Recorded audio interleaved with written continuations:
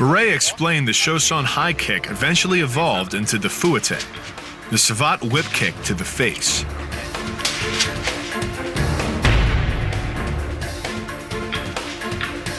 Ah, so this kick is more like a uh, like a revolver as opposed to a grenade. It's not a wild, big kick.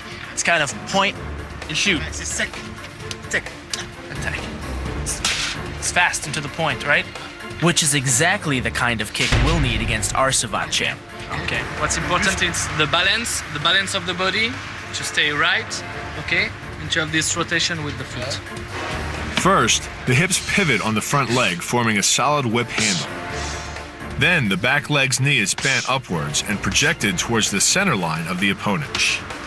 At the last second, the foot is snapped forward over the knee, like the end of a whip, and smacks into your opponent's face. This roundhouse kick is designed for maximum impact. With the powerful muscles of the thigh yanking the tendon over the knee, the foot accelerates from 0 to 21 miles per hour in just one third of a second. Combine that with the reinforced shoe, and this kick can drive the nose bone back up into the brain.